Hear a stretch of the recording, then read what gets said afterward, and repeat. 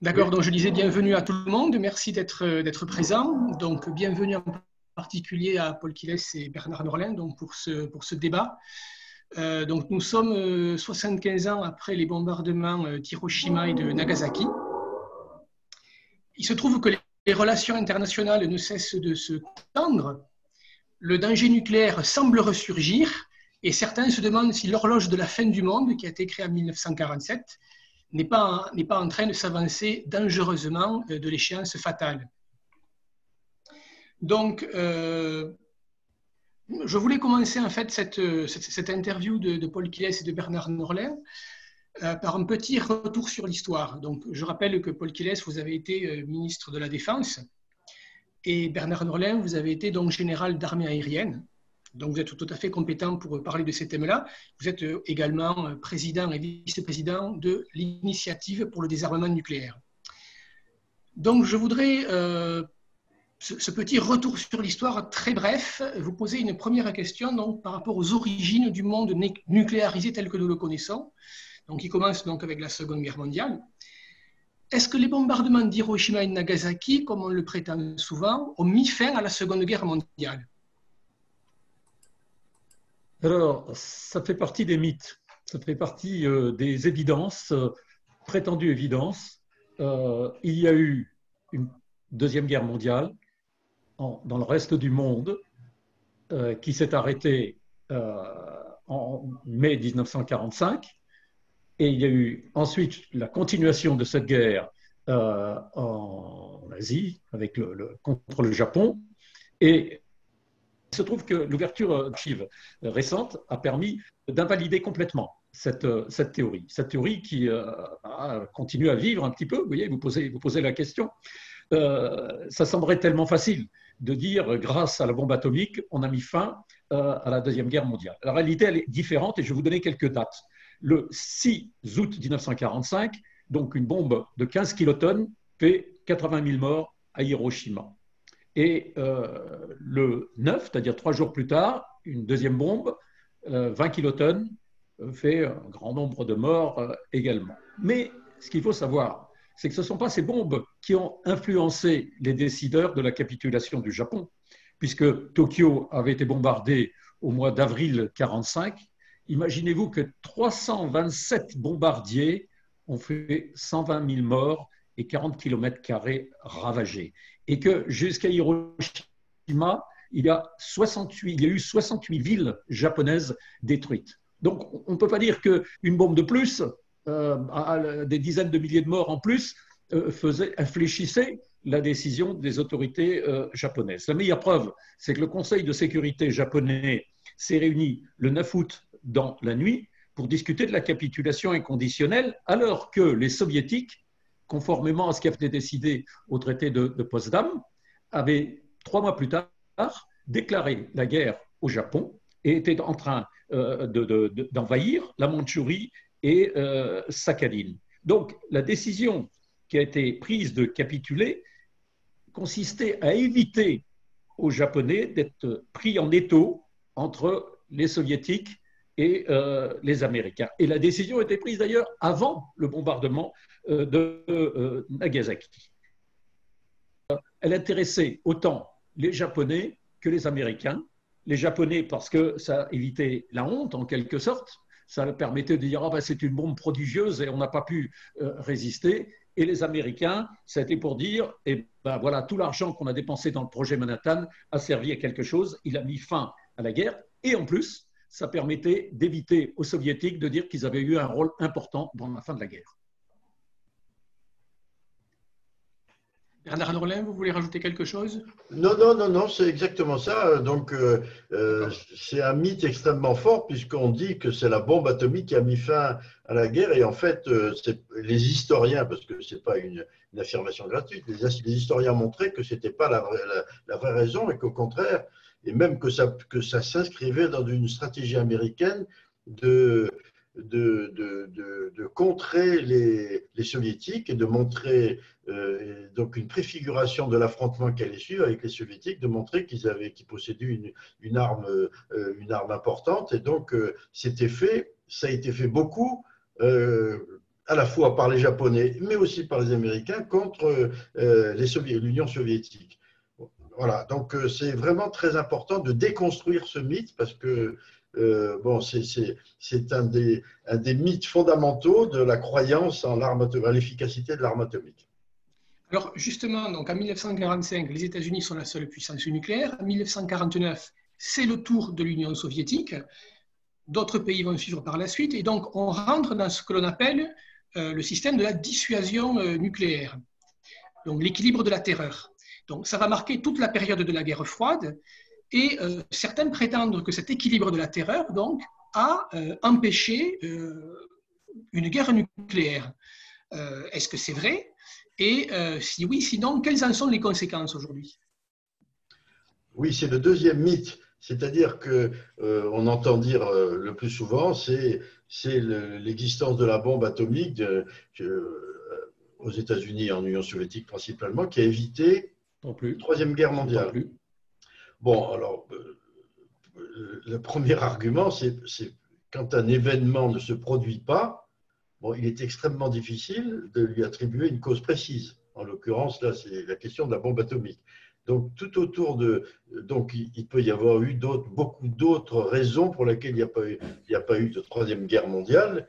Euh, et, mais c'est vrai qu'il n'y a pas eu de guerre nucléaire pendant cette période, jusqu'à maintenant. Hein il y, a, eu certainement d'autres raisons qui tenaient peut-être au souvenir de la Deuxième Guerre mondiale, euh, au, système, aux, économies qui se reconstruisaient, etc., etc., aux, diplomates, aux efforts, au dialogue qui s'est instauré entre les, diplomatiques. Donc, il y a des tas de raisons qui peuvent être invoquées aussi bien que l'arme atomique. Donc, c'est une assertion gratuite. Et le problème, c'est que ça induit, euh, ça induit euh, une affirmation que l'on entend dans tous les discours officiels, qui est, la suivante, la bombe atomique, enfin l'arme nucléaire si vous préférez, c'est euh, notre garantie ultime et quelquefois absolue de sécurité. Et bon, je pense que ça fera partie de la discussion parce que euh, c'est un point très important, parce que c'est faux, c'est un mensonge. Cette affirmation est un véritable mensonge, mais je pense qu'on y reviendra. J'ajoute, euh, pour répondre à votre question le plus rapidement possible, c'est que l'existence de l'arme nucléaire, euh, la détention plutôt d'armes nucléaires par certains pays, n'a pas empêché d'autres pays qui n'avaient pas d'armes nucléaires de leur déclarer la guerre.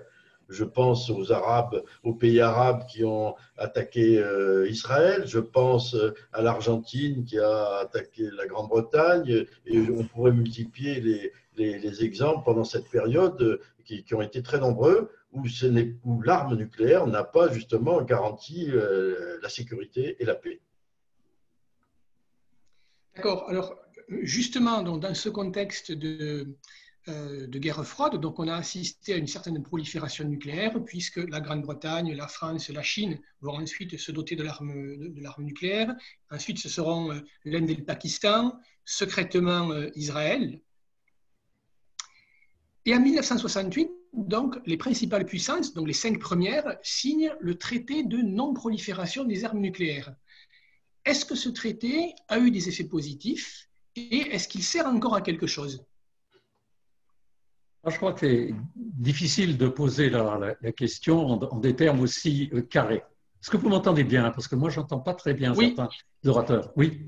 Euh, non, de temps en temps, je suis coupé, Paul. Hein. Ben, la liaison n'est pas très bonne. Votre connexion est instable, me disent-ils. Oui. Ça va là, comme ça? Oui. Bon, bah, prévenez-moi si ça ne va pas. Euh, le, TNP a certainement euh, contribué au départ, euh, non pas à assurer la paix, mais à assurer un certain équilibre pour éviter la prolifération, puisque traité de non-prolifération, TNP. Et certains pensent que c'est venu dans les années 60, parce que les cinq pays qui ont été il se trouve que ce sont les cinq membres permanents du Conseil de sécurité mais j'allais dire c'est pas par hasard, mais ça n'est pas lié à cela. Et ce fameux club des cinq se disait si on ne prend pas des dispositions internationales, euh, ça va se répandre euh, tous azimuts, ce qui a été un peu le cas à ce moment-là. Et le TNP était l'occasion d'un échange. Euh, on est un certain nombre, un certain club, le fameux club des, des cinq, à être autorisé à avoir de l'armement nucléaire. Tous les autres n'ont pas le droit. Et en échange, si je puis dire, les pays qui ont le nucléaire militaire les aideront pour acquérir et développer le nucléaire civil. C'était la grande époque où le nucléaire civil était la panacée du point de vue énergétique et du point de vue économique. Et c'est comme ça que ça a démarré. Sauf que, et ça c'était dans le, fameux article, 4, euh, c'est que le TNP disait un peu plus loin, dans ce fameux article 6, que nous nous répétons souvent, que nous rappelons souvent, et que euh, je, voudrais, je voudrais vous lire pour que vous sachiez exactement ce qu'il y a dans, le TNP, dans cet, article 6. Chacune des parties au traité s'engage à poursuivre de bonne foi des négociations sur des mesures efficaces relatives à de la course aux armements nucléaires à une date rapprochée, rapprochée et au désarmement nucléaire et sur un traité de désarmement général et complet sous un contrôle international strict et efficace. Quand on lit ça, on se prend à rêver. C'était euh, écrit en 1968, appliqué à partir de 1970. Euh, et euh, comment dire, c'est tout le contraire de ce qui s'est passé, puisque la course aux armements a continué, puisque euh, chacun continue, tous les possesseurs continuent à menacer l'adversaire potentiel de, destruction. Donc, il y a en quelque sorte un, gros mensonge, un gros mensonge dans l'application du TNP qui a été prorogé en 1995 pour euh, une durée euh, indéfinie. Je rappelle que la France et la Chine ont ratifié seulement en 1992, littéralement en 92, et on peut dire, pour être positif quand même, que euh, la signature du TNP a entraîné le, démantèlement d'un certain nombre d'installations nucléaires, notamment l'Afrique du Sud, euh, on ne sait pas assez, que l'Afrique du Sud, à l'époque de l'apartheid, euh, avait, commencé à acquérir du matériel nucléaire militaire. Il a arrêté le programme euh, militaire du Brésil et de l'Argentine, et il a permis aussi, il ne faudrait pas l'oublier, qu'il y ait un accord spécifique signé avec l'Iran, le fameux JCPOA, qui date du 14 juillet 2015, qui est malheureusement euh, remis en cause de façon lourde, brutale et stupide par euh, Donald Trump, alors que c'était un accord euh, qui a été endossé par le Conseil de sécurité de l'ONU et que l'attitude américaine, en tout cas du président américain, fragilise la voie diplomatique au profit de sanctions économiques. Donc, bilan du TNP assez, assez, assez ambigu, mais néanmoins, c'est la voie diplomatique qu'il faut euh, rechercher euh, si on veut véritablement installer une paix durable et notamment se fixer sur ce fameux article 6 que je viens euh, de vous relire. Donc, on a un traité qui est, qui est utile, d'après ce que vous dites. la fin de la guerre froide intervient en 1991. Il y a une période de désarmement pendant quelques années. Et puis, à nouveau, euh, une course à l'armement nucléaire semble reprendre. Et justement, que nous enseignent les, crises euh, des dernières années, hein, les crises autour de la Corée du Nord, autour de l'Iran? Qu'est-ce que cela nous enseigne sur la situation actuelle? Ça nous enseigne la, première chose, euh, mais qui remonte pas forcément aux, dernières crises nord-coréennes et iraniennes, c'est par exemple le, cas du, Pakistan, par exemple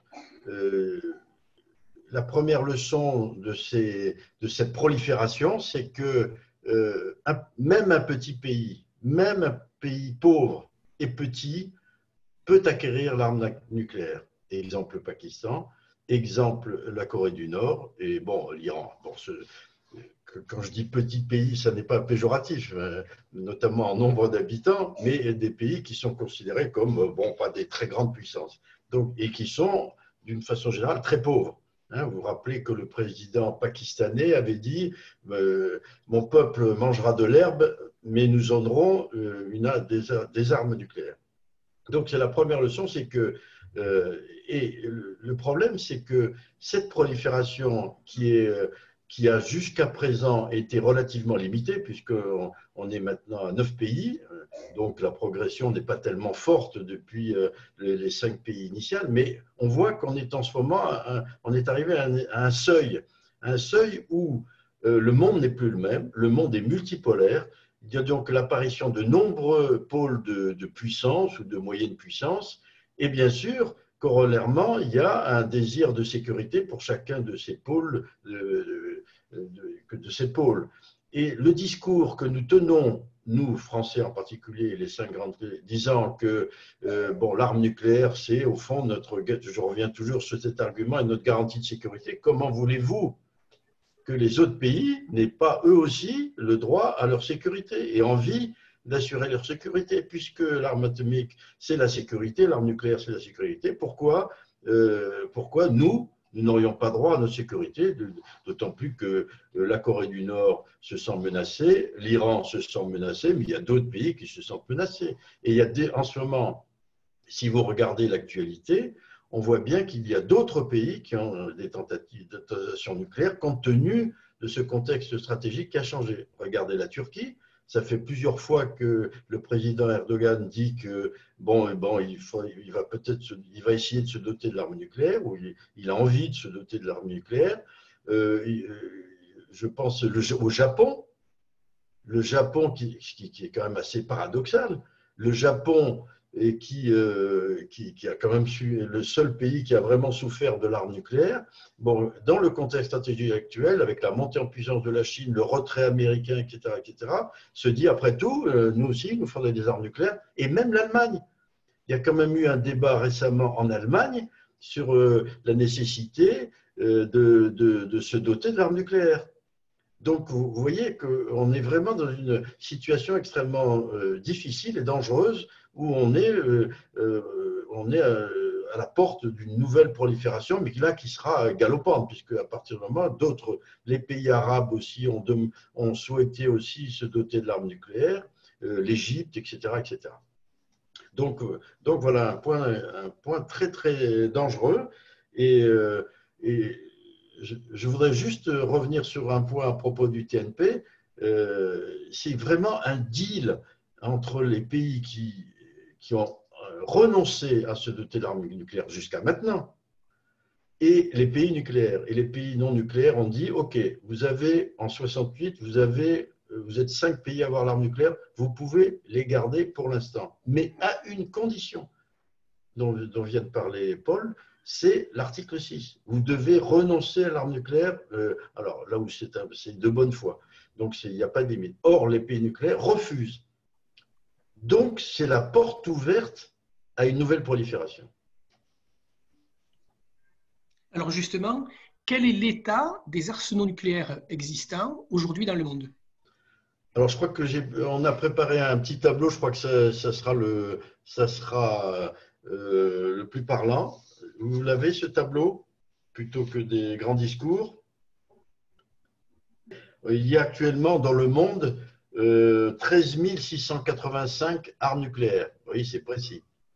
90% de ces armes nucléaires sont détenues par euh, les États-Unis et la Russie. Euh, en troisième, jusqu'à maintenant, vous avez la France, avec environ 300 armes nucléaires. Puis la Chine à 290 euh, armes nucléaires. Alors maintenant, les experts et surtout les Américains disent que la Chine euh, en a beaucoup plus, mais qu'elle ne le dit pas, etc., etc. Mais bon, on pourra en reparler. On pourra toujours. Le Royaume-Uni 215. Alors vous voyez aussi, euh, quand on regarde ces chiffres, il y a deux choses. Premièrement, ce sont la Russie et les États-Unis qui ont l'essentiel de l'arsenal nucléaire. Deuxièmement, si vous regardez les chiffres de la France et du Royaume-Uni, et, vous, quand vous, écoutez le discours officiel français qui, parle toujours de stricte suffisance, en disant il nous faut 300 armes nucléaires, c'est la stricte suffisance. Donc vous, voyez que le, Royaume-Uni en a que 215. Bon alors, où est la stricte suffisance?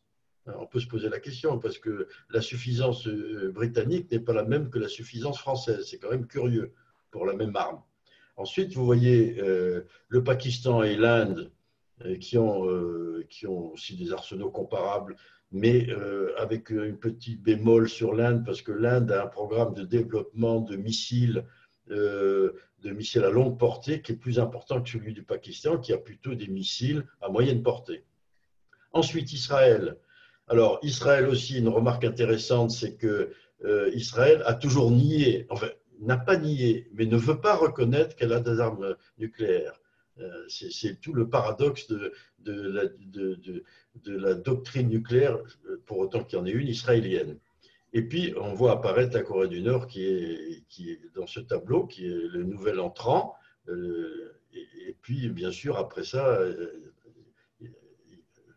après ça, on ne sait pas ce qui, sait pas ce qui peut arriver, comme on vient de le dire. Voilà, donc ce tableau, même avec ces chiffres tout simples, est quand même très, très instructif. Pour en revenir à la Chine, euh, la Chine, si vous voulez, quand vous voyez le discours américain vis-à-vis de la Chine. Je ne suis pas partisan de, de, la Chine actuelle, hein, je vous rassure tout de suite. Mais quand on voit le discours actuel des Américains à propos de, de la Chine, en disant que c'est un danger extraordinaire, bon, on, voit bien qu'en matière nucléaire, le danger, il n'est pas vraiment du côté des Chinois. D'ailleurs, les Chinois ont toujours, adopté euh, la position du, non-usage en premier, ce qui est quelque chose de très important, c'est-à-dire la Chine exclut la possibilité d'utiliser l'arme nucléaire en premier, ce que la France a toujours refusé, et que, euh, bon, manifestement, il y a un déséquilibre euh, très, très important entre la puissance nucléaire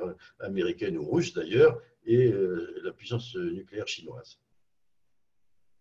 Ensuite, j'avais un tableau, mais peut-être que je vais être trop long sur les budgets, parce que à côté des, à côté des de l'arsenal, il, y a des tableaux très intéressants euh, sur les budgets pour, voir ce que ça représente, ces arsenaux, en termes, de, en termes financiers, économiques, budgétaires.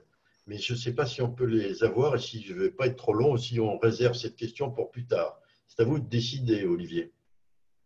Écoutez, euh, on peut peut-être voir cette question plus tard. Moi, j'avais envie de, de, terminer, je dirais, la, le, tour d'horizon euh, euh, de la situation actuelle par, par, une, par une question finalement, est-ce qu'on peut dire que le risque de conflit nucléaire est en définitive plus important aujourd'hui plutôt qu'à l'époque de la, de la guerre froide?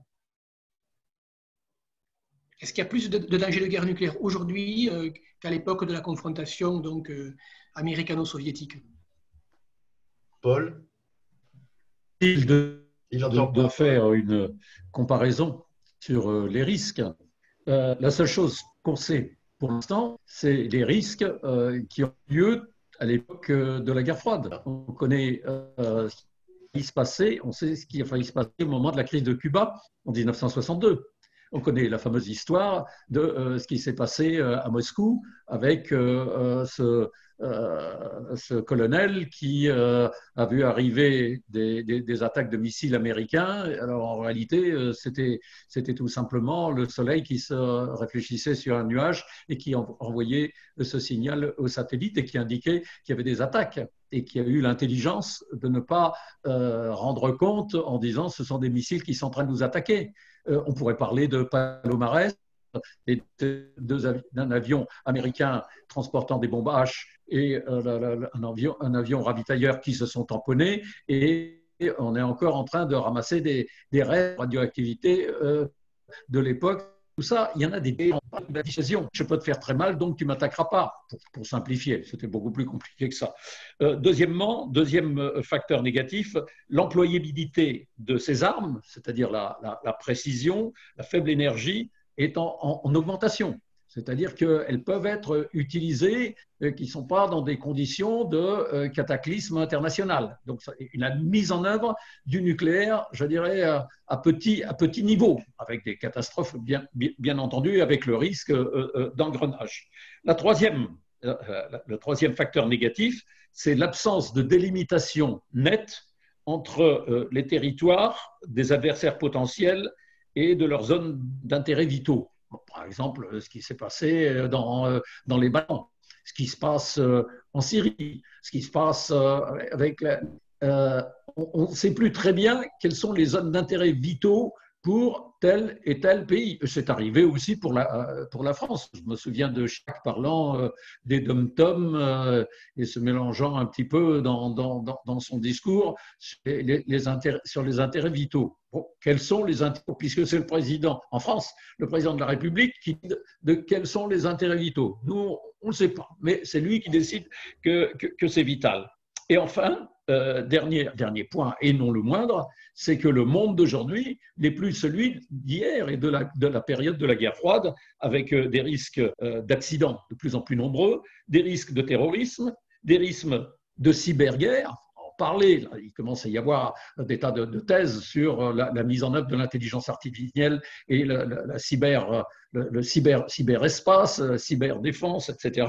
Tout cela introduit quoi? Des risques d'instabilité euh, stratégique. Et en ce sens-là, ben, je ne sais pas si on peut euh, introduire une notion quantitative. Euh, est-ce que le monde est plus dangereux qu'hier? Il l'est véritablement et de façon très diverse. Alors, je voudrais vous proposer deux cours, deux cours apartés. un premier, c'est un focus sur la France c'est est-ce que la question nucléaire, notamment du nucléaire militaire, est tabou en France bah Oui, bah oui, c'est évident. C'est non seulement évident, mais, mais euh, complètement, complètement inquiétant. Euh, moi, j'ai eu des, des tas d'expériences de, en tant que euh, parlementaire, en tant que ministre aussi, même si je ne suis pas resté longtemps. Comme le disait Bernard tout à l'heure, bah, c'est la garantie de sécurité absolue contre le nucléaire, c'est que vous êtes pour abandonner euh, la France à son euh, destin. Et on ne peut pas, euh, dans une là, convaincre. On en sait quelque chose. Nous, à IDN, On ne vous entend plus. Oui, oui. Là, je peux prendre le relais si vous voulez, de deux minutes. Oui. Hein? Oui, non, c'est le problème du, D'abord, le fait que cette question soit tabou en France, parce que, bon, vous savez, on considère que euh, maintenant que De Gaulle, tout le monde adore le général De Gaulle, maintenant, euh, euh, tout ce qu'a fait, tout ce qu'a dit le général De Gaulle est sacré. Donc, donc on considère que l'arme nucléaire, c'est la France. et je n'invente rien, puisque c'est Jean-Pierre Chevènement lui-même qui a dit l'arme nucléaire, c'est la France ça veut dire que si vous êtes contre l'arme nucléaire, vous êtes contre la France, vous êtes un traître en quelque sorte. Vous voyez, il y a quelque chose de, il y a une dimension, il y a, dans l'arme nucléaire, il y a toute une dimension psychologique, psychanalytique qui est très importante. Le, deuxième point à ce sujet, c'est la question du consensus. Du coup, on dit, euh, en France, il y a un consensus euh, autour de, euh, de, l'utilité de l'arme nucléaire, de, l'intérêt de l'arme nucléaire pour la sécurité, plus que l'intérêt, bien sûr. bon, ce, consensus, il faut le relativiser, hein, parce qu'il n'y a jamais eu de vrais sondages, de vrais sondages objectifs seulement des sondages faits par le ministère de la Défense. Donc, vous imaginez le résultat du sondage. Bon, en fait, ce consensus, il est, fait surtout d'ignorance. Et en revanche, il y a un, sondage qui a été fait très, très intéressant par euh, Benoît Pelopidas, qui est le seul chercheur indépendant en France sur les questions nucléaires, qui travaille euh, aux séries à Sciences Po. Et il a fait faire, euh, avec d'autres chercheurs, un sondage en Europe sur, euh, bon, qu'est-ce que vous savez de l'arme nucléaire? Qu'est-ce que c'est euh, pour vous? Combien, combien votre pays a d'armes nucléaires et tout? Eh bien, le résultat de ce sondage, je ne vais pas vous le donner en détail, les résultats de ce sondage, c'est que ce sont les Français qui ont la, moins bonne connaissance de l'arme nucléaire. Dans pratiquement sur toutes les questions. Le nombre d'armes, euh, qu'est-ce que c'est que la dissuasion nucléaire, etc., etc. Ce sont les Français qui connaissent le moins bien l'arme nucléaire. Et le problème de, de, de, de, ce, cette espèce de, silence autour de l'arme nucléaire est, dramatique parce que ça induit un faux sentiment de sécurité dans, dans l'opinion publique qui pense que, euh, bon, après tout, la garantie de sécurité est là et qu'on n'a pas à s'en soucier. Donc, il y a, donc, il y a comment dirais-je, il y a quelque chose, il y a une espèce de désintérêt des Français pour les questions de sécurité, puisqu'après tout, bon, on leur dit euh, soyez tranquille, reposez-vous, euh, dormez tranquille, euh, votre sécurité assurée, ne vous occupez pas de ça. on s'occupe de tout, tout est en place et, tout va marcher. C'est comme la ligne Maginot. on est dans la même situation que la ligne Maginot en, en 40, où, bien sûr notre sécurité était, garantie par cette ligne. Et c'est une ligne Maginot nucléaire que nous avons construite et auquel, nous, auquel les Français, bon, euh, euh, on ne peut pas dire qu'ils adhèrent, mais bon, ils sont dans le, maintenus dans l'ignorance. Et d'ailleurs, je ne sais pas euh, si Paul allait le dire ou il l'a dit, mais on ne l'a pas entendu, c'est quand même incroyable qu'il n'y ait pas de débat, de vrai débat au Parlement. Il y a eu récemment, cette question a été évoquée au Sénat, euh, à la, je crois qu'à la commission de défense du, du, Sénat, où il est dit bon, il faudrait peut-être faire un débat autour des armes nucléaires. Je schématise Je ne sais, pas si, sais pas si vous m'entendez là, parce que j'ai eu un moment. De... Ah, ça y est, ça revient, Paul. Oui, je voudrais, bien je voudrais, parce n'entendait plus rien. Euh, juste pour euh, reprendre ce qu'a dit, qu dit, Bernard, euh, lors d'un débat au Sénat sur la loi de programmation militaire, euh, le, une sénatrice, Mme Hélène Conway-Mouret, c'était le 23 mai 2018, a euh, demandé qu'il y ait un débat sur euh, le nucléaire compte tenu de l'importance euh, du sujet. Et ce débat s'est fait en présence, bien évidemment, du président de la commission Sénat, mais aussi de la secrétaire d'État de la Défense. Eh imaginez-vous que face à cette demande, le président de la commission, soutenu par la secrétaire d'État, a dit Vous avez raison, madame, c'est un sujet important, mais vous savez, euh, si on fait un débat là-dessus, on va donner la parole à ceux qui ne sont pas d'accord avec nous. Je ne suis pas en train d'inventer une phrase euh, euh, qui sortirait d'une discussion en Corée du Nord. Ça se passe au Parlement français et c'est enregistré au journal officiel de la République. C'est-à-dire qu'on dit le fait qu'il y ait un débat là-dessus donnerait la parole à ceux qui ne sont pas d'accord. Et c'est vraiment le contraire même du débat, le contraire même de, la, démocratie. Et moi, je pense que euh, tant qu'il n'y aura pas, on en viendra tout à l'heure sur ce qu'on peut faire, de véritable débat euh, par les représentants du peuple, qui sont encore, je crois, plus euh, le Parlement que les Gilets jaunes, même s'ils représentent autre chose, mais c'est là que ça doit se passer. Je vous informe que le dernier débat dans l'hémicycle de l'Assemblée nationale sur la dissuasion nucléaire, il a eu lieu au mois de décembre 1995. Jacques Chirac avait relancé les essais nucléaires que Mitterrand avait interrompus quelques années plus tôt. Ça a fait un grand scandale mondial.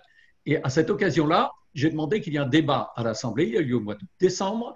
Et nous avons eu un débat sur la dissuasion eh bien, imaginez-vous que depuis 1995, il n'y a pas eu de débat dans l'hémicycle parlementaire sur la dissuasion nucléaire. Il y a des débats sur combien ça coûte, qu'est-ce qu'on fait, combien de sous-marins, etc. Et encore, pas tous, tous les sujets, parce que quand Bernard parlait tout à l'heure de stricte suffisance, euh, c'est 300 aujourd'hui. Moi, quand j'étais ministre, c'était 500. Alors j'ai toujours dit pourquoi strict, hein, suffisant, mais on est très suffisant. Et quand on écoute le président de la République parler du nucléaire, on voit une certaine suffisance. J'ai décidé et c'est comme ça. C'est comme ça.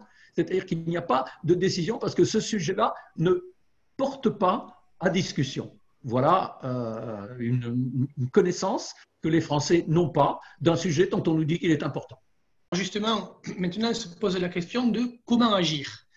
Alors, il semblerait qu'il y a eu récemment euh, quelques avancées au niveau des gouvernements. Donc, les cinq premières puissances nucléaires, qui sont aussi membres permanents du Conseil de sécurité de l'ONU, ont droit de veto sur toute résolution.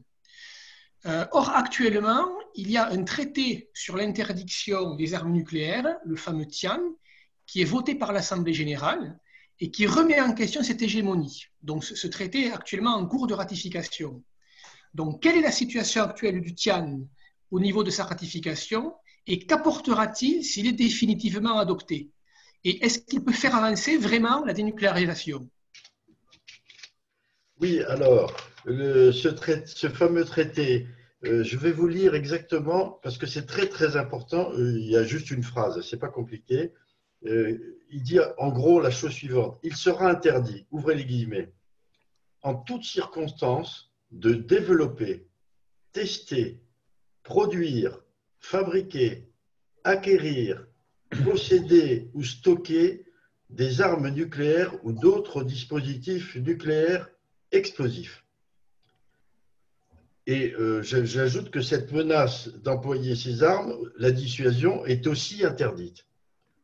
Donc ça veut dire que, par exemple, l'Allemagne, qui a, qui a des armes nucléaires sur son territoire et qui a d'ailleurs des, avions allemands qui, qui, emmènent qui pourraient emmener des armes nucléaires, bon, euh, serait déclaré, euh, euh, serait dans, la zone, dans cette zone d'interdiction.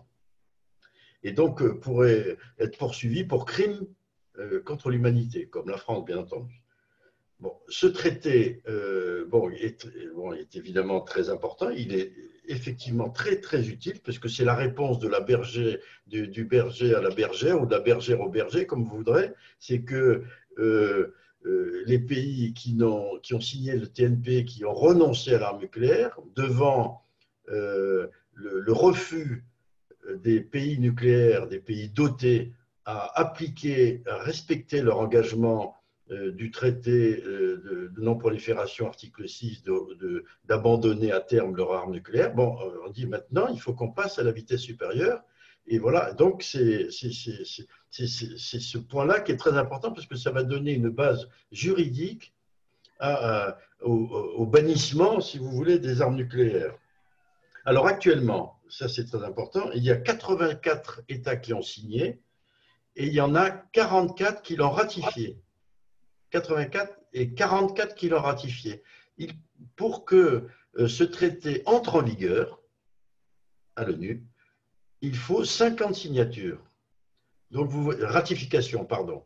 Vous voyez donc qu'on est tout près euh, de l'adoption de ce traité, ce qui euh, gêne beaucoup les pays nucléaires, dont l'attitude et dont la réponse est pour l'instant extrêmement méprisante, puisqu'ils disent euh, bon, ce pays n'a aucune, ce traité n'a aucune chance d'être appliqué un jour. Euh, nous ne renoncerons pas aux armes nucléaires. Euh, c'est indispensable pour la sécurité internationale, pour la paix, la stabilité, tout le discours habituel.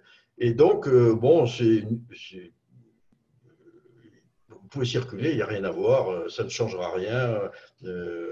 non, il faut lire la réponse du, du Quai d'Orsay alors, ce qui est incroyable, qui est la réponse du Quai d'Orsay euh, lorsque ce, lorsque ce traité a été lancé, elle est d'un mépris absolument invraisemblable à l'égard des autres pays, des petits pays, comme on dit. Et il faut. Alors, je voulais, attendez, j'ai pas, j'ai pas fini parce que. Si vous m'entendez, vous m'entendez? Oui. Bon, parce que euh, ça s'est passé, cette réponse du, du Quai d'Orsay euh, s'est passée peu de temps après un discours du président Macron à l'ONU, un discours superbe sur le multilatéralisme. Et si vous lisez ce discours, il est dit tout au long qu'on doit tenir compte de l'avis des, entre guillemets, petits pays, des autres pays, que c'est très important de tenir compte, etc.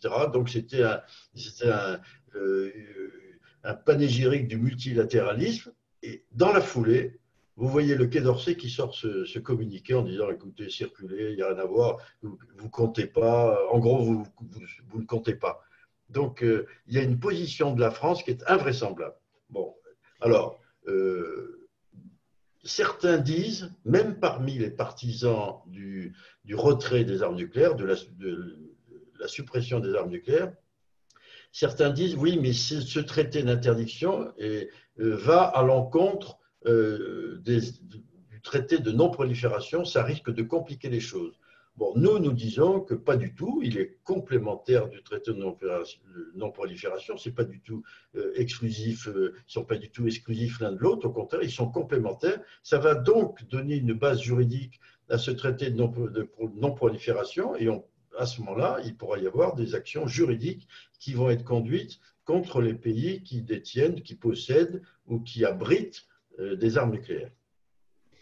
Alors, vous parliez de la France, justement. Est-ce qu'il n'y a pas actuellement une, sorte de fuite en avant, puisque la France actuellement poursuit des essais de, missiles, et même voté des budgets affectés aux armes nucléaires pour les 15 années qui viennent? Alors, je, vais, je, vais, je vais dire quelques, quelques mots là-dessus, mais je voudrais compléter ce qu'a dit Bernard tout à l'heure. Euh, il faut savoir que la France euh, intervient à la fois publiquement à travers euh, ses propos diplomatiques euh, qu'il a cités tout à l'heure, mais aussi de façon encore plus discrète auprès de certains États. Et cette façon discrète euh, s'assimile à un chantage. Je pense aux, États francophones. que les pays de l'OTAN ne votent pas ce, traité, ne prennent pas ce traité, bah, on comprend, on comprend. Ça ne veut pas dire qu'on approuve, mais c'est public, qui est d'ailleurs tout à fait curieux de la part d'un certain nombre de pays européens et de la Turquie qui ont des armes américaines sur leur territoire, les fameuses fameux B-61. Donc il faut savoir qu'il y a sur cinq pays, dont la Turquie, cinq pays européens, il y a euh, des armes euh, nucléaires, des armes nucléaires qui ne leur appartiennent pas, qui appartiennent aux, Américains. Donc euh, tous ces pays-là ne se sentent pas très clairs, et c'est la raison pour laquelle ils n'approuvent pas ce traité. Mais les pays francophones c'est quand même beaucoup plus gênant parce qu'on sait tout à fait le genre de chantage qui peut, y avoir de nature euh, économique. Vous n'avez pas intérêt à, voter ce texte parce que vous verrez ce que, vous verrez. Hein. Voilà, donc ça, il faut, il faut le savoir et ça n'est pas très euh, joli. Euh, contrairement à Bernard qui disait c'est surprenant de la part de la, diplomatie française, moi ça ne me surprend pas du tout. C'est tout à fait dans la logique euh, de euh, ces contradictions permanentes. Le président de la République est pour le multilatéralisme, mais dès qu'une opération multilatérale est montée, hop, il en est absent avec des arguments complètement foireux. De dire qu'on est pour le TNP, donc pour la non-prolifération, mais on ne respecte pas les articles principaux qui disent qu'il faut aller dans le sens d'un désarmement et je veux dire, là, on est dans, dans une pagaille permanente. Alors, s'agissant euh, des sondages, je ne sais pas si on, va en parler, mais je me souviens il y a quelques années des sondages de la, de la DICODE, c'est-à-dire c'était le service d'information des armées, qui était, qui était une monstruosité, où on posait la question, chacun le sait, euh, de façon à susciter la réponse. Alors la, question, c'est dans ce monde dangereux, avec tout là, etc., les affrontements, etc., pensez-vous que l'arme nucléaire soit utile? Vous imaginez, vous imaginez la réponse. Et après, on faisait euh, un découpage pour savoir comment réagissaient les hommes, les femmes, les gens du nord, de l'est, du sud, etc. Et on en tirait euh, des enseignements sur le discours, euh, le discours à tenir. Alors depuis, euh, ces sondages ne sont plus publics, on ne, les, on ne, les, retrouve plus. En tout cas, les questions ne sont pas posées de façon aussi euh, lamentablement orientée. Hein. Donc oui, je vois ce sondage IFOP. Alors ça, ça c'est autre, autre chose. Ça, c'est autre chose. 85% des sondés ont répondu oui, et je vous signale que je ne crois pas que ce soit le service d'information des armées qui organisait ce sondage. Hein. Euh, et je trouve que c'est bien que 85% euh, des sondés pensent que la France devrait participer euh, à, ce débat et en tout cas signer ce texte. mais comment se fait-il que ce sondage que vous citez là, qui date du mois de mai 2018, donc ça fait déjà deux ans, on n'en est pas beaucoup entendu parler. Bah, nous, on, parle de ces choses-là, mais ça n'est pas très repris par euh, les médias. Je voudrais qu'on ait une petite discussion euh, autour de, du, rôle, euh, du rôle des médias, du rôle de, tous les intervenants dans ce débat. Dans ce débat, il y a les militaires, il y a les politiques, il y a les scientifiques, il y a les médias et il y a les citoyens. Et chacun, quand vous réfléchissez bien, chacun a un rôle à jouer pour essayer de, faire évoluer les choses. Et s'agissant des médias, j'ai juste un exemple à vous donner qui me semble assez scandaleux. Euh, j'ai sorti un livre il y a quelques années, on en avait fait un avec Bernard qui s'appelait euh, Arrêter la bombe. J'en ai fait un autre euh, avec Colin Edrin qui s'appelait L'illusion nucléaire. Imaginez-vous que l'éditeur a envoyé 140 exemplaires aux journaux, à tous les médias français, 140 exemplaires. On a eu deux reprises, deux reprises de brève, une dans le canard enchaîné, plutôt sympathique, et une dans le télégramme de Brest. C'est tout, rien d'autre. C'est quoi? C'est de la désinformation, c'est de la censure, c'est quoi? Alors, comme je sais, euh, chez les journalistes, et je pense que Olivier doit le savoir mieux que moi, et un certain nombre de journalistes sont des journalistes très engagés pour l'armement nucléaire, et ils s'en cachent, ils s'en cachent à peine. Je ne suis pas étonné qu'on n'arrive pas à franchir ce, plafond de verre. C'est vraiment un plafond de verre. Et euh, on pourrait aller plus loin et parler, je pense qu'on en discutera tout à l'heure, si vous voulez qu'on parle des, lobbies, de ce que euh, Eisenhower appelait le complexe militaro-industriel, euh, vous parlez de l'université d'été de la défense, qui est payée par les industriels de la défense et qui récemment se sont inquiétés que, payant tout, on ne les laissait pas fixer l'ordre du jour de, cette université. et que vous avez un journaliste qui écrit de façon, je dirais presque naïve, mais certainement vraie, que c'est une occasion de mieux se connaître, de renforcer les liens, etc. Entre qui? Entre les politiques, les journalistes, les militaires et les industriels. Et renforcer les liens, on sait très bien ce que ça veut dire au moment où il s'agit de mettre en avant tel sujet ou de boycotter tel autre sujet. Là, on est alors qu'on se pose des tas de questions en ce moment sur la démocratie, qu'est-ce qu'elle va devenir, le monde d'après, etc. Il faudrait commencer par des choses aussi simples que ça, que savoir si ces sujets sont importants et que la, personne qui est en charge euh, d'appuyer sur le bouton, même si ce n'est pas comme ça que ça se passe, euh, nous dit que c'est un sujet majeur pour le pays et qu'il n'y a jamais de débat.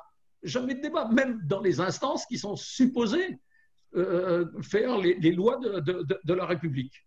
Voilà, donc euh, moi, c'est un, petit cri de colère euh, que je répète assez souvent chaque fois que j'en ai l'occasion en direction euh, des journalistes. Et en ce moment, je constate, vous l'avez peut-être constaté, qu'il y a une chaîne de télévision qui s'appelle Arte, hein, j'ai aucune action Arte, qui a fait toute une série de reportages, de films, de débats sur l'armement nucléaire et que bah, vous n'en avez pas deux. Hein. Vous avez Arte et aucun autre pour l'instant. Ben, j'attends que les autres se réveillent. Alors, vous avez parlé des médias, euh, vous avez parlé des citoyens. Alors, il semblerait qu'en ce moment, il y ait de plus en plus d'ONG qui se mobilisent contre les armes nucléaires. Alors, pour n'en citer que quelques-unes, le Mouvement de la Paix, euh, ICANN, IDN, Monde sans guerre et sans violence, Global Zero, etc. Même la Croix-Rouge, d'ailleurs, récemment. Alors, est-ce que c'est un simple effet de l'environnement médiatique ou est-ce que vous pensez qu'il y a une réelle prise de conscience collective au niveau des opinions publiques par rapport à ce danger de l'arme nucléaire? Euh, non, je pense qu'effectivement, dans la foulée des autres prises de conscience, euh, euh, le changement climatique, et, bon, la pandémie, les pandémies, etc., etc., je crois qu'il y a simultanément, parce que en fait, tout ça est lié. je crois qu'on est dans un monde, on rentre dans un monde nouveau, différent, et que cette prise de conscience au niveau de l'opinion publique se fait, et effectivement, autour du, nucléaire, il commence à y avoir, euh, ça commence à bouger un peu, particulièrement dans les, associations qui se consacrent à la, euh, euh, comme à la paix, à la sécurité, etc. Bon, le problème, c'est que je, ne vois pas encore vraiment, ça on peut peut-être en discuter, que l'opinion publique s'en émeuve particulièrement. Qu'on parle de changement climatique, d'environnement, ça oui. Euh, mais euh, le nucléaire, ce n'est pas dans les priorités, ce n'est pas dans l'esprit, je pense que, je ne veux pas être pessimiste, mais il faut être réaliste, je pense que ce n'est pas pour l'instant vraiment dans l'esprit des gens. Pourquoi? Parce que, euh, bon voilà, ça paraît loin.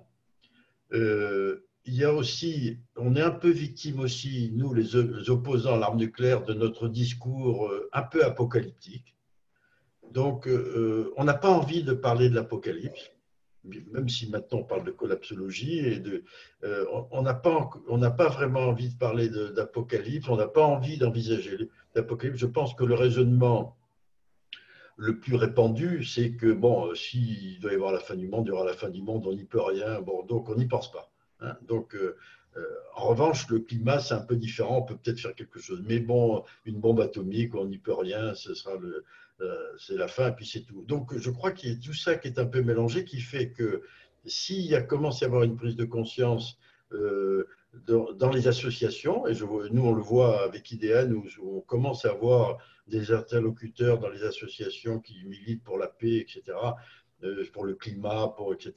Donc on commence à voir des, interlocuteurs qui s'intéressent à ce notre discours, mais on ne peut pas dire qu'on ait encore beaucoup de prise euh, sur euh, l'opinion publique. Euh, nous, ce qu'on qu'on vise, si vous voulez, c'est les, générations à venir, parce que on est en train de leur léguer un monde qui est un peu, qui quand même relativement dangereux sur beaucoup de plans. Hein. Ce n'est pas simplement sur le, le, plan du nucléaire, sur le plan du climat, sur le plan des pandémies, sur le plan de, des progrès technologiques, de, entre guillemets des progrès scientifiques, du génie génétique, etc. On est en train de leur léguer un monde euh, qui va être compliqué, qui devrait être compliqué. Et, euh, si vous voulez, leur laisser en héritage une bombe pour gérer leur futur et leur avenir. Je trouve que ce n'est pas un message vraiment, vraiment très positif. Et, donc, c'est la raison pour laquelle nous, on essaye de, de, motiver, d'informer, de motiver plutôt les, les jeunes générations, puisque c'est vrai que pour, je dois le dire, pour les générations plus anciennes, malheureusement, le débat est plus difficile. Oui, il est, plus difficile et en même temps, euh, malheureusement, ce sont les générations les plus anciennes qui sont aux commandes. Et c'est cela, cela qu'il faut influencer. On peut les influencer par les, plus jeunes. Bon, il peut y avoir des grandes manifestations. Je rappelle euh, l'appel de Stockholm, c'était des, euh, en 1950, des, des, millions et des millions de signatures. D'ailleurs, je crois Chirac hein, il y avait Jospin aussi qui avait signé l'appel de Stockholm. Ça ne les a pas empêchés après de, défendre la dissuasion nucléaire. Euh, mais je veux dire, c'est bien de, faire des, mouvements, des mouvements de masse, mais le plus important, c'est d'informer. Et c'est ce que nous, à IDN, avec, d'autres évidemment, euh, le mouvement de la paix, euh, une émission comme celle que vous avez organisée ce soir, pour laquelle on vous remercie, c'est une façon de sensibiliser un peu plus. Alors on peut se dire que les gens qui participent à ce genre de manifestation sont déjà convaincus. Oui et non. Euh, ils sont peut-être convaincus à titre individuel, mais qu'est-ce qu'ils font, eux, pour convaincre les autres?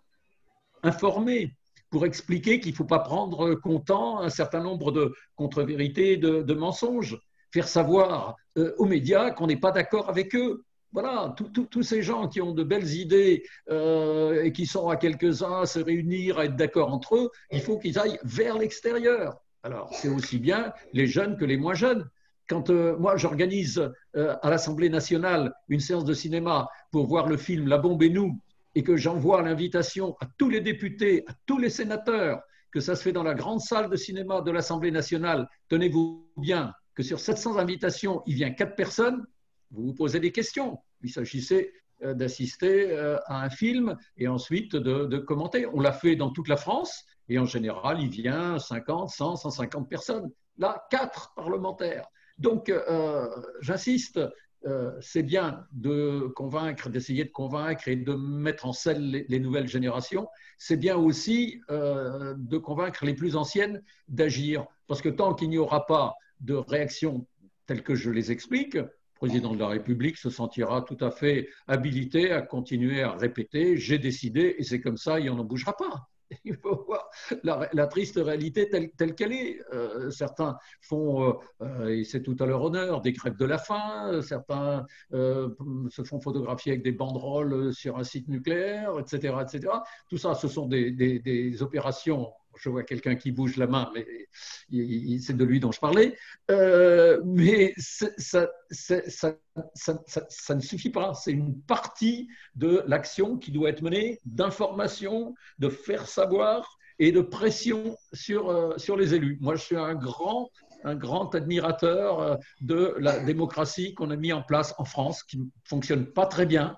Et pour la faire mieux fonctionner, il faut prendre des gros dossiers, et faire en sorte que les parlementaires ne pensent pas simplement à leur prochaine élection. Je sais ce que c'est, j'ai été parlementaire pendant de nombreuses années, mais si on ne pense qu'à la prochaine élection, on finit par faire n'importe quoi et par oublier le long terme, comme disait, euh, comme disait Chirac, qu'est-ce qu'il disait? Il disait euh, la, maison brûle et nous regardons ailleurs. Eh ben, ça, c'était euh, au sommet de, de, de, je ne sais pas si c'était à Rio. Durban en 2001, oui. Non, c'est Durban. Voilà, Durban. Eh ben, la, maison a continué, a continué à brûler parce que lui et d'autres, et nous tous, on a regardé ailleurs. Et le nucléaire, Bernard disait, les gens, euh, en général, ne s'y intéressent pas aujourd'hui parce que ce n'est pas d'actualité. Ben, je vais vous dire, le coronavirus, il y a deux ans, il ne s'y intéressait pas non plus. Hein, et les pandémies, il ne s'y intéressait pas non plus. Et Dieu sait qu'il y en a eu. Bon, et des pépins avec le nucléaire, je vous l'ai dit, dans la période de la guerre froide, il y en a eu beaucoup et d'extrêmement graves qui, euh, comme a dit euh, une personnalité importante, s'il ne s'est rien passé, je crois que c'était l'ancien euh, secrétaire général de, l'ONU, s'il n'y a pas eu de catastrophe nucléaire, c'est grâce à la chance. Je ne crois pas qu'on puisse laisser l'avenir de la planète, l'avenir de l'humanité dans les mains de la chance. Alors justement, on parlait de, l'action des citoyens. Je voulais vous demander qu'est-ce qu'on peut faire quand on est citoyen d'un État détenteur de l'arme nucléaire? Et euh, je voulais enchaîner avec une question que j'avais prévue avant mais qui me semble mieux convenir maintenant, c'est est-ce que l'opposition au nucléaire civil est utile dans la lutte contre l'arme nucléaire? Alors, ça, euh, question, euh, j'allais dire, bateau traditionnel où les, euh, les, gens opposés au nucléaire civil mélangent un peu avec le nucléaire militaire. moi, il se trouve que j'étais ingénieur pendant 15 ans dans le secteur de l'énergie. Je me suis passionné pour le développement du nucléaire civil, mais non pas pour le développer, mais pour le restreindre. Euh, j'ai réussi à convaincre Mitterrand euh, de supprimer, dès qu'il a été euh, président de la République, la centrale de, de Plogov, qui était une ineptie complète. Je me suis battu pour qu'on diminue le nombre de tranches nucléaires. Il paquet terrible à la fin des années 70. Je n'ai pas gagné. Mais quelques années plus tard, en 84-85, on a décidé de réduire le nombre de tranches nucléaires. Et, qu'est-ce qu'on me disait? Qu'est-ce qu'on me disait? On me disait Oh, mais t'es fou, tu te rends compte le nombre d'emplois que ça représente, on va pas abandonner ça. Puis au niveau international, la position de la France, etc. Et le nucléaire civil, il existe, malheureusement. Donc, ceux qui disent qu'il faut arrêter, ben, bon, ça leur fait plaisir, mais ça ne s'arrêtera pas comme ça. Donc, il faut simplement parler du nucléaire civil pour dire qu'il y en a trop en France, qu'il faut réduire, il faut faire une planification, ça a été fait, vous voyez les difficultés à fermer déjà euh, Fessenheim, euh, mais parler du nucléaire civil, ça permet de parler aussi des déchets, des déchets nucléaires. Et les déchets nucléaires, euh, il y en a un gros paquet dans le nucléaire militaire et des déchets qui vont être sur des dizaines et des dizaines d'années. les, les, SNLE qu'on est en train de lancer maintenant, c'est pas avant 2080 qui seront totalement euh, démontés et que euh, les déchets pourront être euh, isolés. Donc parler du nucléaire civil, pour moi, c'est l'intérêt de parler du danger du nucléaire et de ce qu'on fait, ce qu'on fait des déchets. Et c'est aussi, permettez-moi de parler de, des risques d'insécurité. on n'en parle jamais, mais si un jour un abruti de terroristes avaient l'idée de venir euh, mettre une bombe dans une centrale euh, nucléaire. Imaginez un petit peu. Alors, on nous dit c'est bien protégé. Oui, allez, disons. Espérons que c'est bien protégé. Mais vous voyez, alors là, à ce moment-là, nucléaire civil, nucléaire militaire, on s'y retrouverait, parce que ce serait une, énorme, catastrophe, pas, l'équivalent d'Hiroshima, mais ça serait une catastrophe nucléaire de grande ampleur. Eh bien, écoutez, je vous remercie, euh, Paul Quiles, Bernard Norlin. Je ne sais pas si vous voulez rajouter euh, quelque chose, mais là, je vois le, temps qui tourne. Il nous reste à peu près 40 minutes pour, les, pour des questions-réponses. Euh, à moins que vous ayez un point à, éclaircir, je proposerais qu'on passe plutôt à la, partie questions-réponses. Il y avait, je, vais intervenir, il y avait des slides que vous aviez préparés qui concernent les budgets de l'armement, justement, et en particulier en France.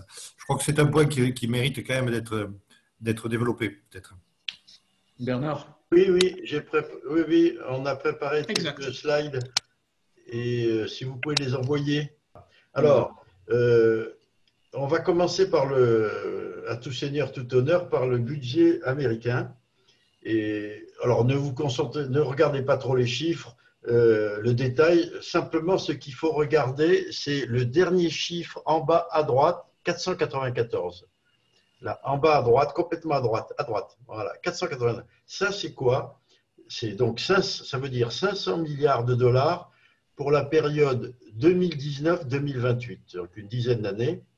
C'est le prochain plan américain de modernisation, rénovation des armements nucléaires. Ça veut dire que les Américains vont dépenser 50 euh, milliards de dollars par an euh, pour euh, leurs forces nucléaires. Ça fait, et ils prévoient, ils ont un plan sur 30 ans, ils vont, donc ça fera 1500 milliards de dollars pour leurs forces nucléaires. voilà. Donc, je vous rappelle aussi pour information que le, le budget défense est de 740 milliards de dollars. Euh, on peut passer à la, la suivante. Alors ça, c'est la France. Alors la France, c'est à la fois simple et à la fois compliqué, puisque en 2020, on a dépensé 4,7 milliards euh, d'euros pour les forces nucléaires, et que dans la programmation, la programmation entre, je simplifie, entre 2019 et 2025, la prochaine LPM, enfin la LPM actuelle, on va dépenser 37 milliards de dollars euh, d'euros pardon, pour nos forces nucléaires, ce, qui représente dans notre budget de défense, rien que pour notre budget, environ euh, au moins entre 30 et 40 du budget d'investissement, et euh, ça va atteindre pratiquement 20% du budget de la défense. Donc ça veut dire que c'est dans le budget de la défense, en, ne regardant que celui-là, on voit que ça pèse d'un poids considérable, alors que les besoins euh, pour les opérations extérieures actuelles au Mali, etc., etc., euh, sont très importants, qu'on manque d'équipement et qu'on aborde en plus une période post, euh, je l'espère, post-Covid, où certainement les, les budgets vont être, des, départements ministériels vont être révisés. Et donc, pour l'instant, le discours officiel, c'est de dire on ne change pas le budget de la défense. Et dans le budget de la défense, ce qui est intangible, c'est le budget de la dissuasion nucléaire.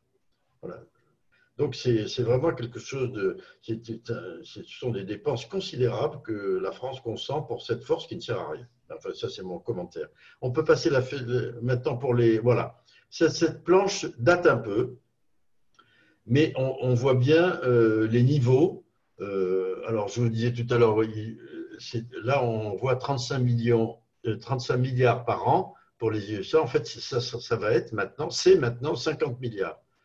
Pour la France, la France, bon, on vient d'en parler, et on voit bien les, la France, on la voit ici, là, mais ça, c'est le budget, vous voyez, c'est le budget qui, de cette année, hein, mais ça ne tient pas compte de l'augmentation pour les années à venir, puisqu'on est lancé dans un programme de modernisation euh, de nos sous-marins nucléaires, des missiles euh, qui vont équiper nos avions euh, nucléaires, etc., etc. Donc, et je ne parle pas des armements nouveaux.